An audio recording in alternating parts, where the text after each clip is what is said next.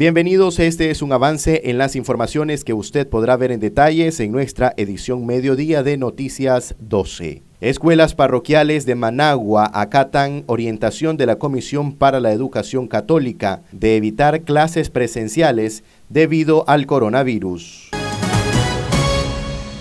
Analista político Fanora Bendaño asegura que el Estado de Nicaragua debe crear una política de nación para que los nicaragüenses puedan enfrentar la pandemia del coronavirus.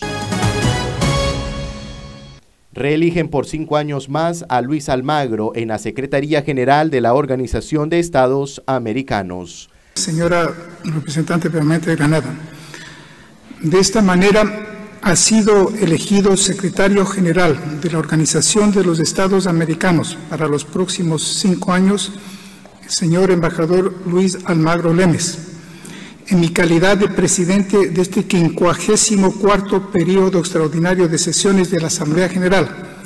Y sin perjuicio de que todos y cada uno de los jefes de delegación que la integran lo hagan individualmente, extiendo en nombre de todos la más calurosa y sincera felicitación